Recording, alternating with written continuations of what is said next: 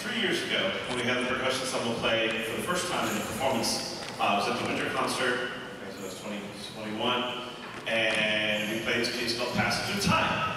And really liked playing it. It was a, kind of a neat piece of fun piece to play. It's like, huh, like, I wonder if we could, let me get a, that composer, Patrick Glenn Carpenter, let me get him to write something for us.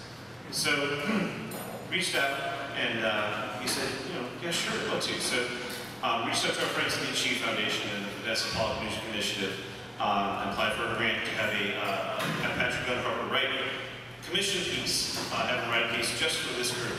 Um, and the result you're about to hear in a moment um, is we're very, very excited um, do a world premiere um, of a brand new piece of music uh, written just for us. It's very, very, very excited.